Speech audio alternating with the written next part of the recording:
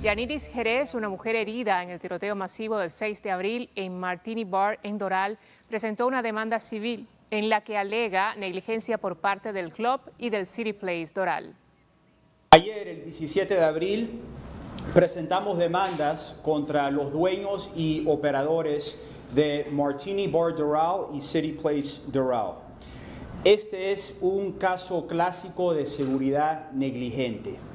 Los dueños y operadores de propiedades tienen que mantener sus propiedades a salvo de, a salvo de delitos previsibles.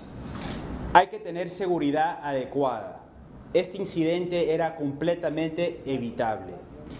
Las demandas que hemos presentado no solo tienen que ver con la compensación, pero también para demostrar que en nuestra comunidad la seguridad negligente es completamente inaceptable y viene con graves consecuencias.